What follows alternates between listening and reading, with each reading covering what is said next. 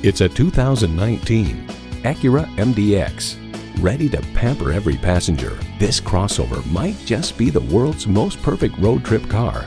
It's equipped for all your driving needs and wants.